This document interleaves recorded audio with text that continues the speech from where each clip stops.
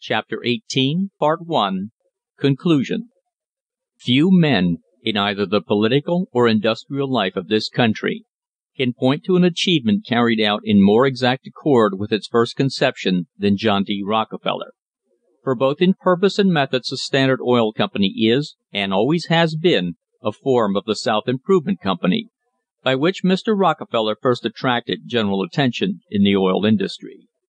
The original scheme has suffered many modifications. Its most offensive feature, the drawback on other people's shipments, has been cut off. Nevertheless to day, as at the start, the purpose of the Standard Oil Company is the purpose of the South Improvement Company the regulation of the price of crude and refined oil by the control of the output and the chief means for sustaining this purpose is still that of the original scheme a control of oil transportation giving special privileges in rates. It is now thirty two years since Mr. Rockefeller applied the fruitful idea of the South Improvement Company to the Standard Oil Company of Ohio, a prosperous oil refinery of Cleveland with a capital of $1,000,000 and a daily capacity for handling 1,500 barrels of crude oil. And what have we as a result? What is the Standard Oil Company to day? First, what is its organisation? It is no longer a trust. As we have seen, the trust was obliged to liquidate in 1892. It became a trust in liquidation, and there it remained for some five years. It seemed to have come into a state of stationary liquidation, for at the end of 1892 477,881 shares were uncancelled; at the end of 1896 the same number were out. The situation of the great corporation was indeed curious. There began to be comments on it, for complications arose one over taxes. In 1893 an auditor in Ohio tried to collect taxes on 225 shares of the Standard Oil Trust. The owner refused to pay and took the case into court. He won it. "The Standard Oil Trust is an unlawful organisation," said the court. "Its certificates have no validity." It would seem strange that a certificate which was void to all purpose would still be valid as to taxable purposes. Here was an anomaly indeed. The certificates were drawing big quarterly dividends, had a big market value, but were illegal. Owners of small certificates naturally refused to exchange. In 1897 it took 194 shares of the Standard Oil Trust to bring back one share in each of the twenty companies. Thus one share in the Standard Oil Company of Ohio was worth twenty seven shares in the Standard Oil Trust. If a man owned twenty five shares, he got only fractional parts of a share in each company. On these fractional parts he received no dividends, it not being considered practical to consider such small sums. To raise his twenty five shares to 194 and so secure dividends took a good sum of money, since Standard Oil Trust shares were worth at least 340 then. But why should he trouble? He received his quarterly dividends promptly, and they were large. He paid no taxes, for his stock was illegal. The trustees were not pushing him to liquidate. Besides, it was doubtful if they could do anything. Joseph Choate said they could not. On May 3, 1894, before the attorney general of New York, in an application for the forfeiture of the charter of the Standard Oil Company of New York, Mr. Choate said: "I happen to own 100 shares in the Standard Oil Trust, and I have never gone forward and claimed my aliquot share. Why not? Because I would get ten in one company, and ten in another company, and two and three fifths in another company. There is no power that this company can exercise to compel me and other indifferent certificate holders, if you please, to come forward and convert our trust certificates." If there was a way, the trustees were indifferent to it. They evidently were contented to let things alone. It is quite possible that they would have been holding to day 477,881 uncancelled shares of Standard Oil Trust if it had not been for the irrepressible George Rice. Since October, 1892, Mr. Rice had held a Standard Oil Trust certificate for six shares. He had never cancelled it. He had received no invitation to do so. He received his dividends regularly on it. Later he purchased one share, called assignment of legal title, the new form given the trust certificate, and on this he received dividends exactly as on the original trust certificate. Finally Mr. Rice made up his mind, without knowing any of the facts of the liquidation outlined above, that there was no intention to carry out the dissolution, that some means of evasion had been devised, and he proposed to find out what it was.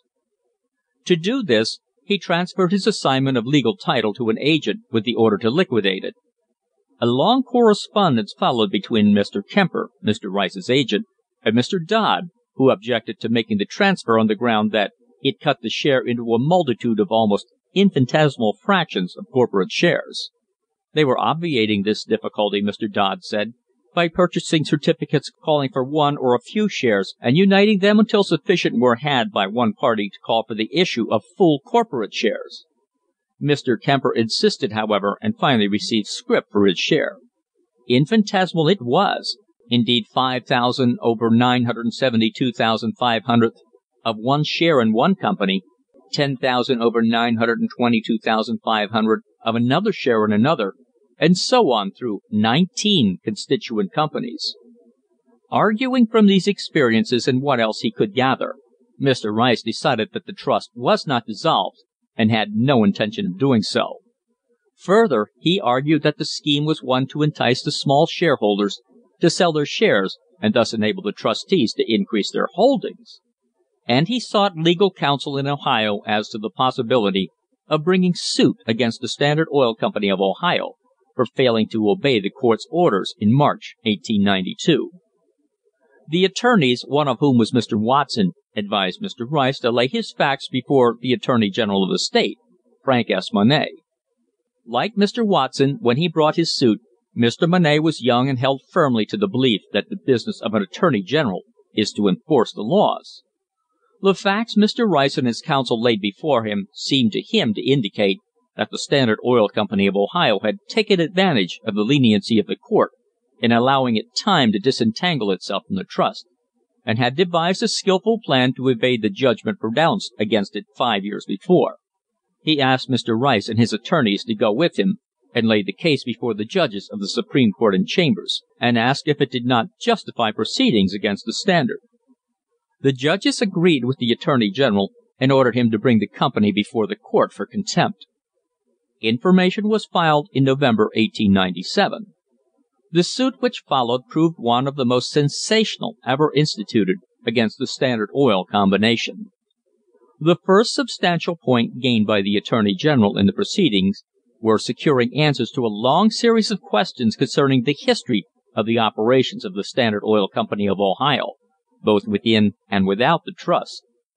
These answers were made by the president of that company, who was at the same time the president of the trust, John D. Rockefeller. They furnish a mass of facts of value and interest, and they include the minutes of the meeting at which the trust was dissolved on March 11, 1892, as well as the minutes of all the quarterly meetings the liquidating trustees held from 1892 to October, 1897. It was from the information obtained from this set of questions that Mr. Monnett secured proof that the liquidation scheme had been held up, as Mr. Rice claimed. The minutes showed, as related in Chapter XIV, that from November, 1892, to March, 1896, 477,881 shares were reported every three months to the trustees as uncancelled. In July, 1896, the number fell suddenly to 477,880. George Rice had succeeded in having his assignment of legal title liquidated. Mr. Monnett learned from the result of this inquiry another suggestive fact, that while only one share was cancelled in the five years before the contempt proceedings were brought, in the first three months after 100,583 shares were cancelled. It took Mr. Monnett some six months to secure the answers from Mr. Rockefeller, but his information was still incomplete, and he asked the court to appoint a master commissioner, with power to examine the officers, affairs and books of the Standard, to take testimony within or without the state, and to report.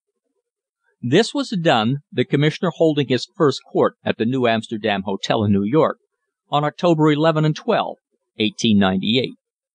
Mr. Rockefeller was the only witness examined at the sessions, and his deliberation and self control, his almost detached attitude as a witness, were the subject of remark by more than one observer. He answered no question promptly. He had the air of reflecting always before he spoke.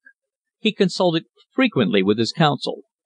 His counsel, his colleagues who were present, the counsel of the prosecution, were sometimes irate never Mr. Rockefeller. From beginning to end he was the soul of self possession. His only sign of impatience, if it was impatience, was an incessant slight tapping of the arm of his chair with his white fingers. The outcome of this examination of Mr. Rockefeller was that Mr. Monnett and his colleagues called for those books of the trust which would show exactly how the original trust certificates had been liquidated. It was then that the copies of the transfers of Mr. Rockefeller's trust certificates and of his assignments of legal title printed in the Appendix Number 54 were obtained. Although Mr. Monnett had added to his knowledge of the Standard's operations between 1892 and 1898, he was not yet convinced that the Standard Oil Company of Ohio was conducting its own business. He had found that, in spite of the order of the court in 1892, 13,593 shares of that company's stock were still outstanding in trust certificates. He knew these certificates drew dividends. Was the company paying money directly or indirectly to the liquidating trustees? They said no, that they had been paying no dividends since 1892; that the money paid the holders of trust certificates came from the nineteen other companies; that all their earnings had been used in improving their plant or were invested in government bonds. Besides, said they, we are not the thrifty concern we used to be. Mr. Monnett demanded proof from their books. The secretary of the company, on advice of his counsel, Virgil P. Kline, refused to produce the books asked for, on the ground that they would incriminate the company. The court supported Mr. Monnett, and ordered the company to produce those of their records showing the gross earnings since 1892, and what had been done with them. The order met with a second refusal. Such was the status of the proceedings when Mr. Monnett received an anonymous communication stating that, about the time the company was ordered by the court to produce its records, a great quantity of books had been taken from the Standard's office in Cleveland and burned.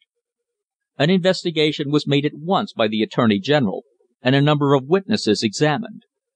The fact of the burning of sixteen boxes of books from the Standard offices in Cleveland was established, but these books the officers of the company contended, were not the ones wanted by Mr. Monnett.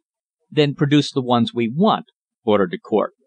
But on the ground that such records might incriminate them, the officers still refused. The fact was, the Standard Oil Company of Ohio was in a very tight place, and it is difficult to see how an examination of their books could have failed to incriminate not only it, but three other of the constituent companies of the trust which held charters from the same state. These three companies were the Ohio Oil Company, which produced oil, the Buckeye Pipe Line, which transported it, and the Solar Refining Company, which refined it. Mr. Monnett had learned enough about these organisations in the course of his investigations since November, 1897, to convince him that these companies, all of them enormously profitable, were, for all practical purposes, one and the same combination, and that they were all working with the Standard Oil Company of Ohio, and that their operations were in direct violation of a state anti trust law recently passed.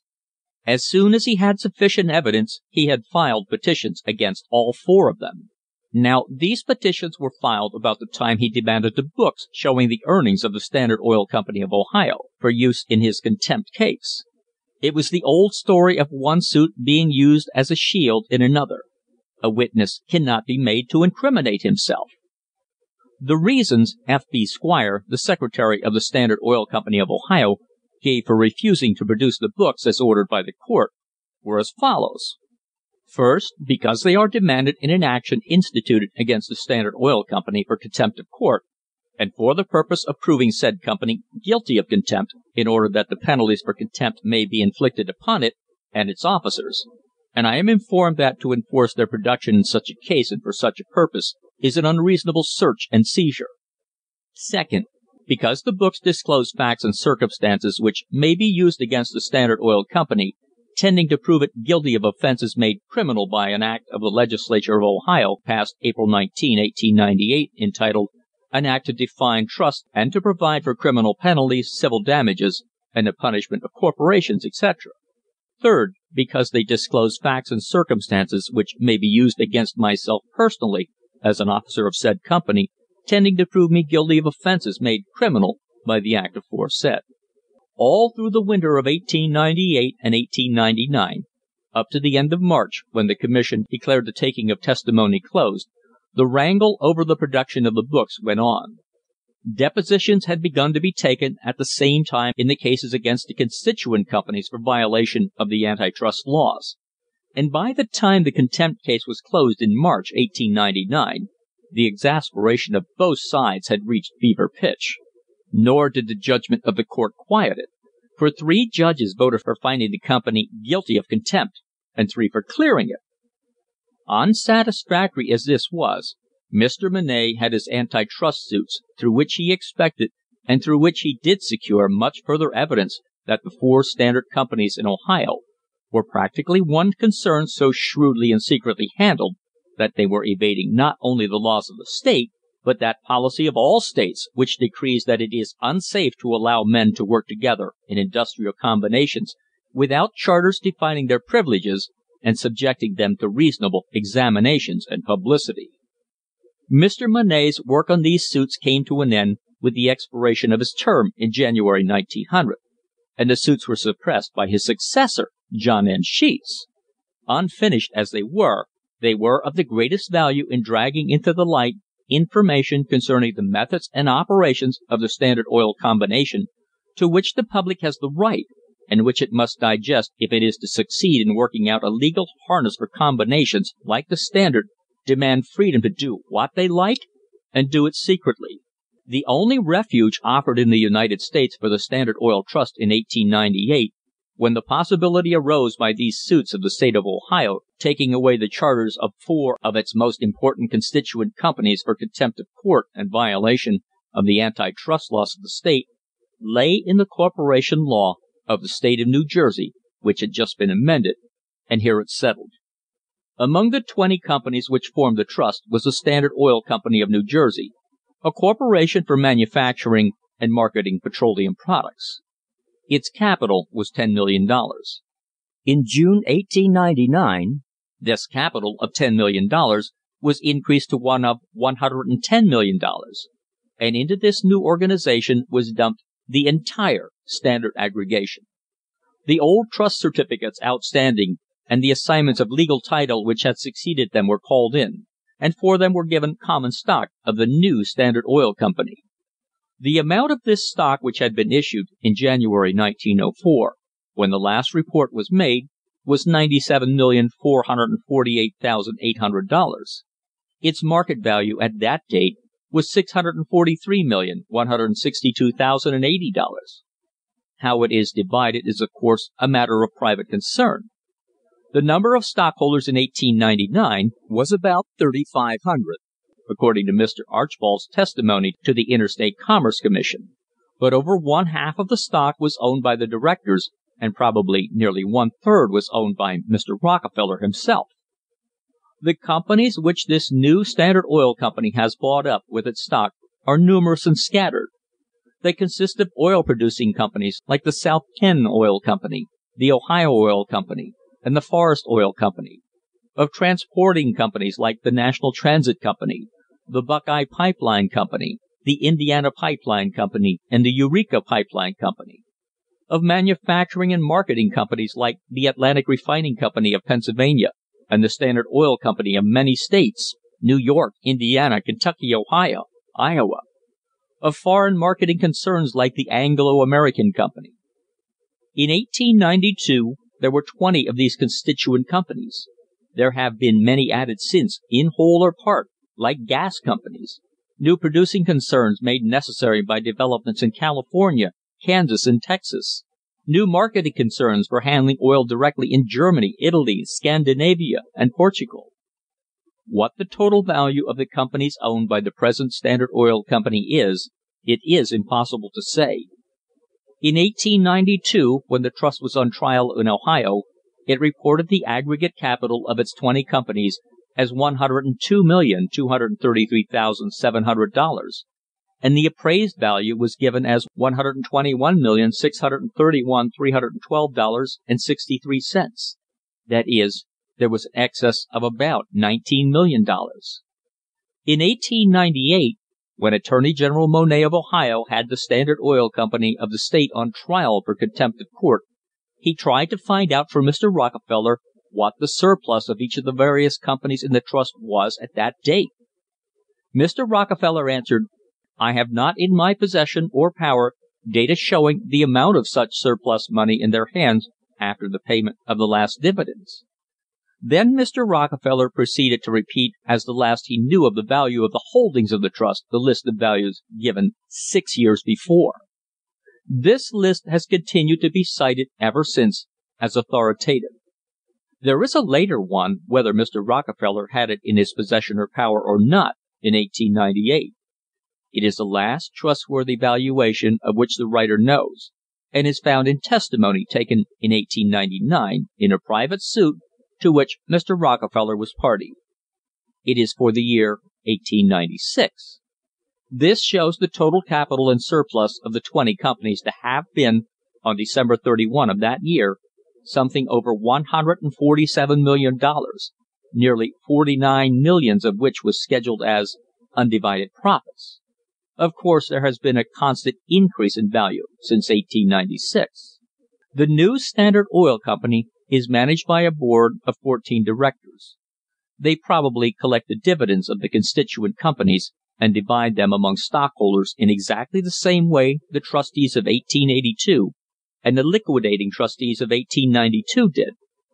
As for the charter under which they are operating, never since the days of the South Improvement Company has Mr. Rockefeller held privileges so in harmony with his ambition.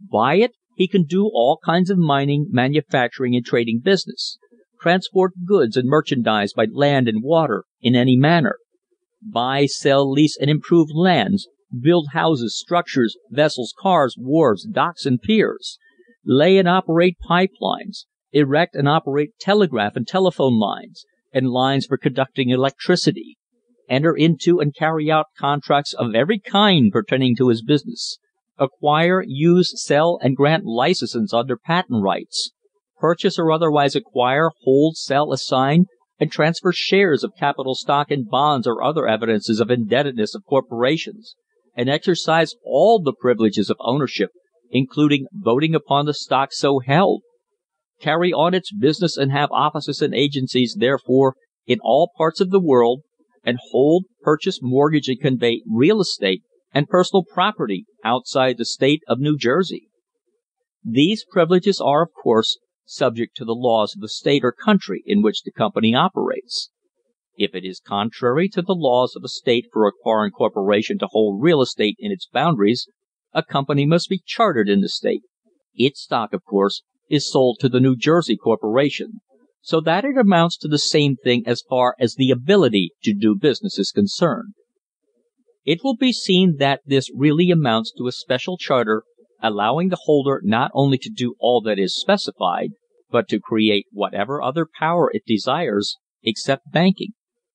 A comparison of this summary of powers with those granted by the South Improvement Company shows that in sweep of charter at least, the Standard Oil Company of to day has as great power as its famous progenitor. The profits of the present Standard Oil Company are enormous.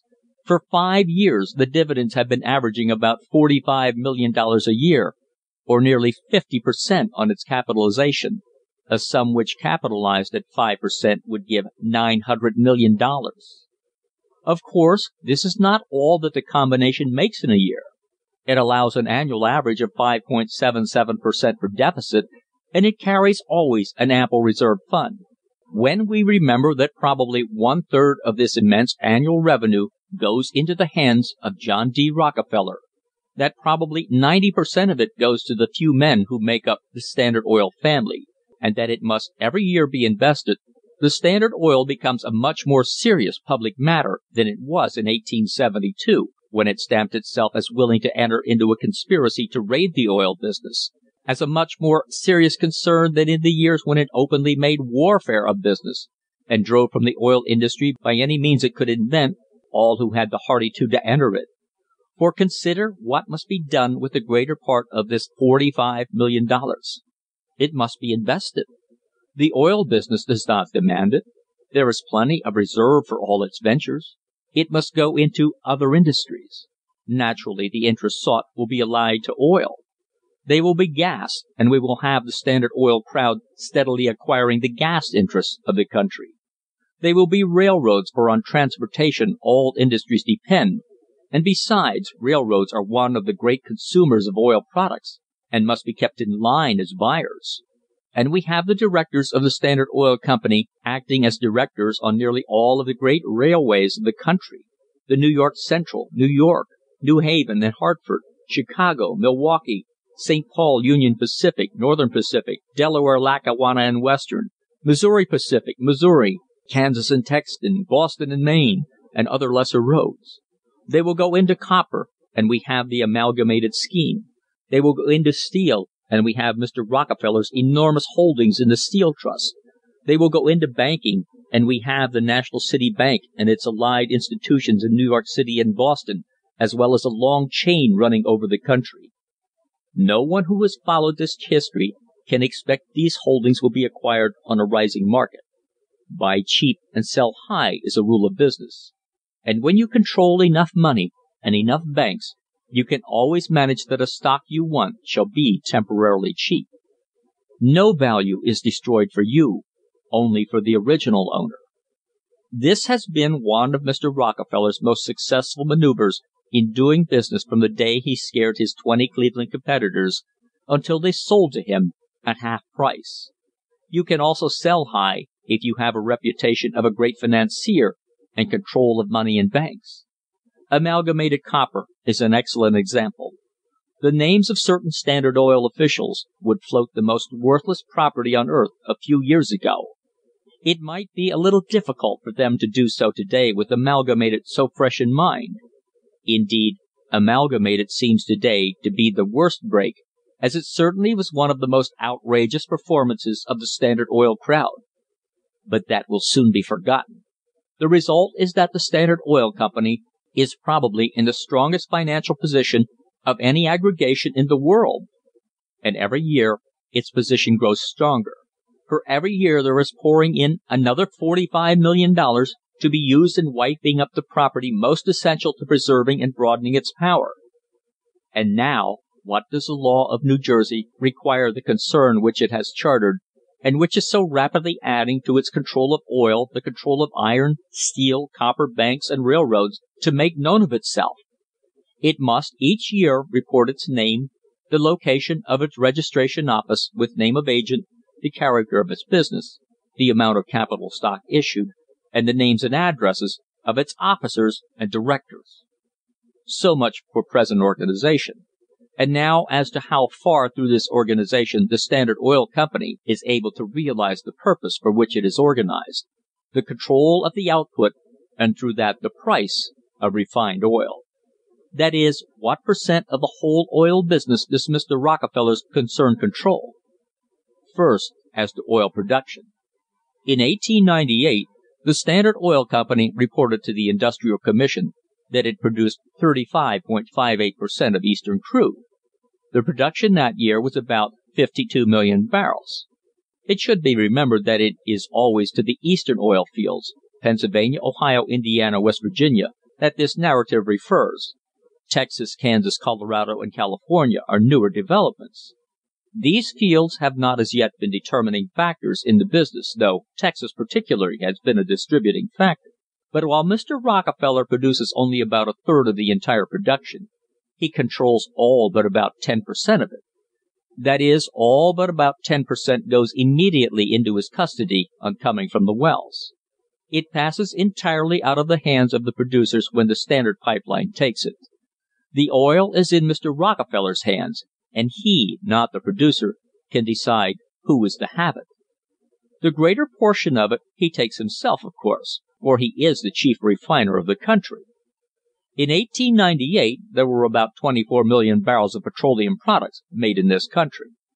Of this amount about twenty million were made by the Standard Oil Company. Fully a third of the balance was produced by the Tidewater Company, of which the Standard holds a large minority stock, and which for twenty years has had a running arrangement with the Standard. Reckoning out the Tidewater's probable output, and we have an independent output of about 2,500,000 in twenty four million. It is obvious that this great percentage of the business gives the Standard the control of prices. This control can be kept in the domestic market so long as the Standard can keep under competition as successfully as it has in the past. It can be kept in the foreign market as long as American oils can be made and sold in quantity cheaper than foreign oils. Until a decade ago the foreign market of American oils was not seriously threatened. Since 1895, however, Russia, whose annual output of petroleum had been for a number of years about equal in volume to the American output, learned to make a fairly decent product. More dangerous, she had learned to market. She first appeared in Europe in 1885. It took ten years to make her a formidable rival, but she is so to day, and in spite of temporary alliances and combinations, it is very doubtful whether the Standard will ever permanently control Russian oil. In 1899 Mr. Archbold presented to the Industrial Commission a most interesting list of foreign corporations and individuals doing an oil business in various countries. According to this there were more than a score of large concerns in Russia, and many small ones. The aggregate capitalization shown by Mr. Archbold's list was over forty six and a half millions, and the capitalization of a number of the concerns named was not given. In Galicia four companies with an aggregate capital of $3,775,100, and in Roumania six large companies with an aggregate capital of $12,500,000 were reported. Borneo was shown to have nearly three millions invested in the oil fields. Sumatra and Java each over twelve millions. Since this report was made these companies have grown, particularly in marketing ability. In the East the oil market belonged practically to the Standard Oil Company until recently. Last year (1903), however, Sumatra imported more oil into China than America, and Russia imported nearly half as much. About 91,500 gallons of kerosene went into Calcutta last year, and of this only about 6,000,000 gallons came from America. In Singapore representatives of Sumatra Oil claim they have two thirds of the trade. Combinations for offensive and defensive trade campaigns have also gone on energetically among these various companies in the last few years. One of the largest and most powerful of these aggregations now at work is in connection with an English shipping concern, the Shell Transport and Trading Company, the head of which is Sir Marcus Samuel, formerly Lord Mayor of London. This company, which formerly traded almost entirely in Russian oil, undertook a few years ago to develop the oil fields in Borneo, and they built up a large Oriental trade. They soon came into hot competition with the Royal Dutch Company, handling Sumatra oil, and a war of prices ensued which lasted nearly two years. In 1903, however, the two competitors, in connection with four other strong Sumatra and European companies, drew up an agreement in regard to markets which has put an end to their war. The Shell people have not only these allies, but they have a contract with the Guffey Petroleum Company, the largest Texas producing concern, to handle its output, and they have gone into a German company, the Petroleum Produkten Aktiengesellschaft. Having thus provided themselves with a supply they have begun developing a European trade on the same lines as their Oriental trade and they are making serious inroads on the Standard's market. The naphthas made from the Borneo oil have largely taken the place of American naphtha in many parts of Europe. One load of Borneo benzine even made its appearance in the American market in 1904. It is a sign of what well may happen in the future with an intelligent development of these Russian and Oriental oils the Standard's domestic market invaded. It will be interesting to see to what further extent the American government will protect the Standard Oil Company by tariff on foreign oils if such a time does come. It has done very well already. The aggressive marketing of the Shell and its allies in Europe has led to a recent oil war of great magnitude. For several months in 1904 American export oil was sold at a lower price in New York than the crude oil it takes to make it cost there. For instance, on August 13, 1904, the New York export price was 4.80 cents per gallon for Standard white in bulk. Crude sold at the well for $1.50 a barrel of 42 gallons, and it cost 60 cents to get it to seaboard by pipe line. That is, 42 gallons of crude oil cost $2.10, or 5 cents a gallon in New York twenty points lost on a gallon of the raw material! But this low price for export affects the local market little or none. The tank wagon price keeps up to ten and eleven cents in New York. Of course, crude is depressed as much as possible to help carry this competition. For many months now there has been the abnormal situation of a declining crude price in the face of declining stocks. The truth is, the Standard Oil Company is trying to meet the competition of the low grade Oriental and Russian oils with high grade American oil, the crude being kept as low as possible and the domestic market being made to pay for the foreign cutting. It seems a lack of foresight surprising in the Standard to have allowed itself to be found in such a dilemma. Certainly for over two years the company has been making every effort to escape by getting hold of a supply of low grade oil which would enable it to meet the competition of the foreigner. There have been more or less short lived arrangements in Russia. An oil territory in Galicia was secured not long ago by them, and an expert refiner with a full refining plant was sent over. Various hindrances have been met in the undertaking, and the works are not yet in operation. Two years ago the Standard attempted to get hold of the rich Burma oil fields. The press of India fought them out of the country, and their weapon was the Standard Oil Company's own record for hard dealings. The Burma fields are in the hands of a monopoly of the closest sort which has never properly developed the territory, but the people and government prefer their own monopoly to one of the American type. Altogether, the most important question concerning the Standard Oil Company to day is how far it is sustaining its power by the employment of the peculiar methods of the South Improvement Company. It should never be forgotten that Mr. Rockefeller never depended on these methods alone for securing power in the oil trade. From the beginning the Standard Oil Company has studied thoroughly everything connected with the oil business. It has known, not guessed at conditions. It has had a keen, authoritative sight it has applied itself to its task with indefatigable zeal. It has been as courageous as it has been cautious.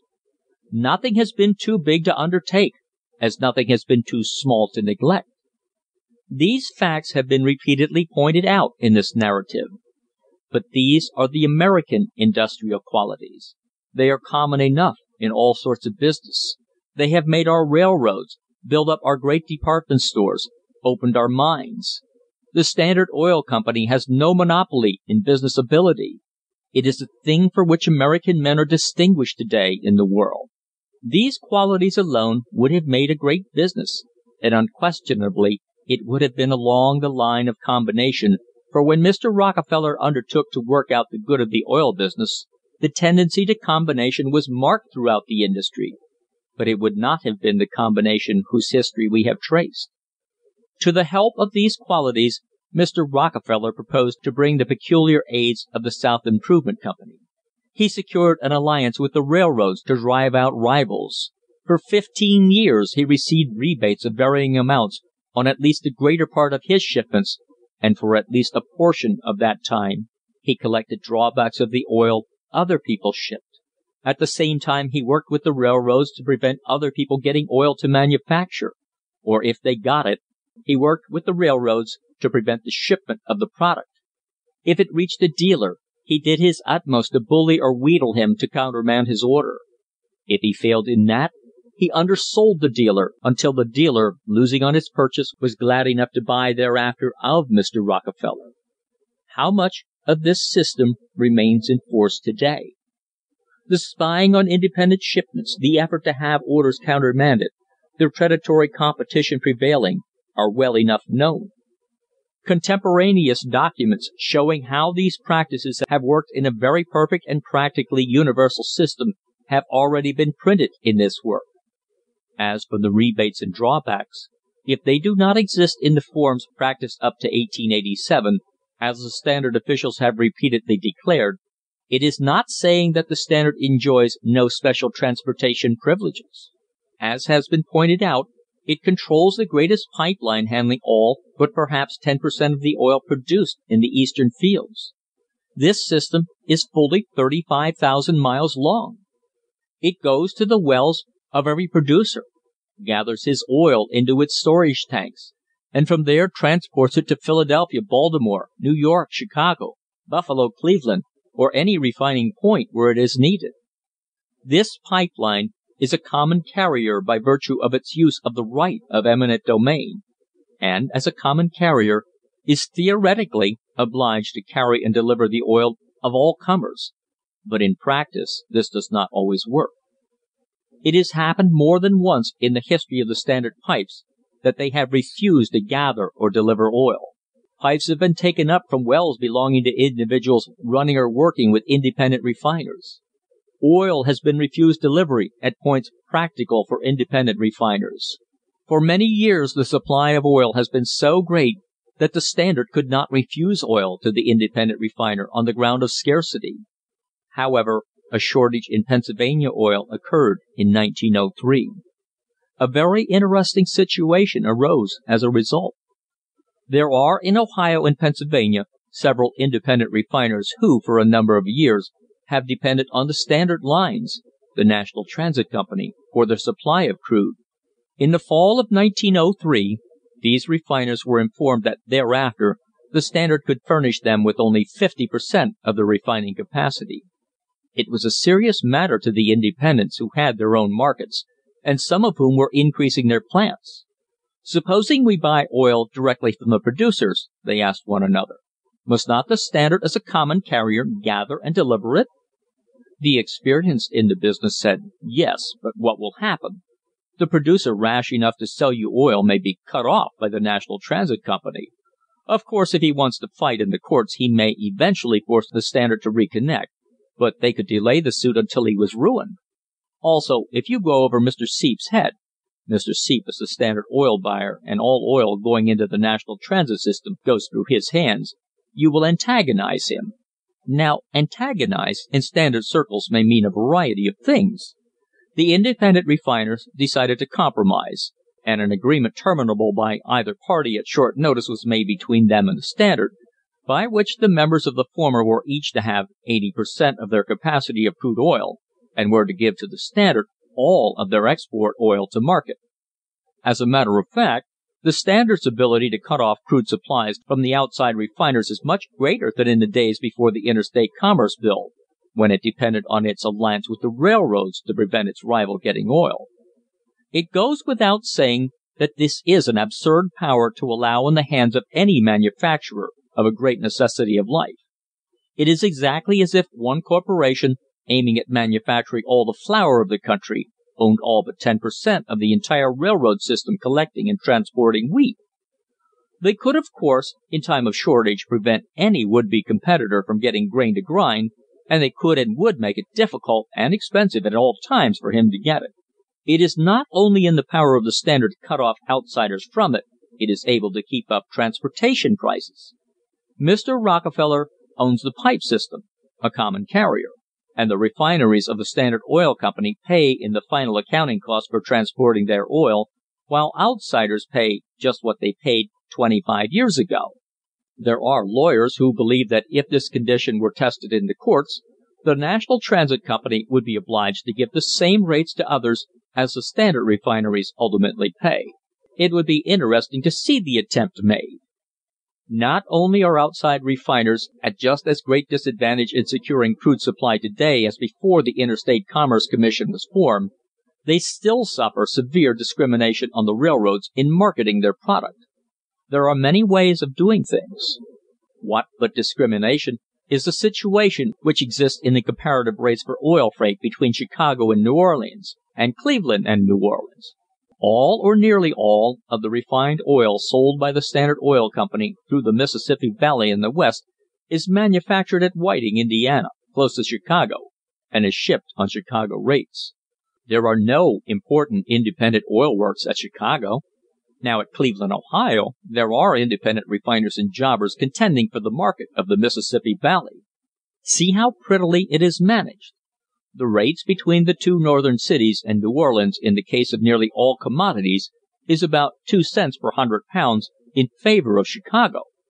For example, the rate on flour from Chicago is twenty three cents per hundred pounds; from Cleveland, twenty five cents per hundred pounds; on canned goods the rates are thirty three and thirty five; on lumber, thirty one and thirty three; on meats, fifty one and fifty four; on all sorts of iron and steel, twenty six and twenty nine. But on petroleum and its products they are twenty three and thirty three. In the case of Atlanta, Georgia, a similar vagary of rates exists. Thus Cleveland has, as a rule, about two cents advantage per 100 pounds over Chicago. Flour is shipped from Chicago to Atlanta at thirty four cents, and from Cleveland at thirty two and a half cents; lumber at thirty two and twenty eight and a half, but Cleveland refiners actually pay forty eight cents to Atlanta, while the Standard only pays forty five from Whiting. There is a curious rule in the Boston and Maine Railroad in regard to petroleum shipments. On all commodities except petroleum, what is known as the Boston rate applies, but oil does not get this. For instance, the Boston rate applies to Salem, Massachusetts, on all traffic except petroleum, and that pays four cents more per hundred pounds to Salem than to Boston. The New York, New Haven and Hartford Railroad gives no through rates of petroleum from western points, although it gives them on every other commodity. It does not refuse to take oil, but it charges the Boston rate plus the local rates. Thus, to use an illustration given by Mr. Prouty, of the Interstate Commerce Commission, in a recent article, if a Cleveland refiner sends into the New Haven territory, say to New Haven, a carload of oil, he pays twenty four cents per hundred pounds to Boston, and the local rate of twelve cents from Boston to New Haven. On any other commodity he would pay the Boston rate. Besides, the rates on petroleum have been materially advanced over what they were when the Interstate Commerce Bill was passed in 1887, although on other commodities they have fallen. In 1887 grain was shipped from Cleveland to Boston for twenty two cents, iron for twenty two, petroleum for twenty two. In 1889 the rate on grain was fifteen cents, on iron twenty cents, and on petroleum twenty four. Of course it may be merely a coincidence that the New Haven territory can be supplied by the Standard Oil Company from its New York refineries by barge, and that William Rockefeller is a director of the New York, New Haven and Hartford Railroad. An independent refiner of Titusville, Pennsylvania, T. B. Westgate, told the Industrial Commission in 1898 that his concern was barred from shipping their products to nearly all New England and Canadian points by the refusal of the roads to give the same advantages in tariff which other freight was allowed. Mr. Westgate made the suggestive comment that very few railroads ever solicited oil trade. He pointed out that when the United States Pipe Line was building, agents of the various roads were after the oil men, soliciting shipments of the pipe, etc., to be used. We could ship iron, but the oil we must not handle. That is probably the password that goes over. Examples of this manipulation might be multiplied. This is the end of the conclusion, part one,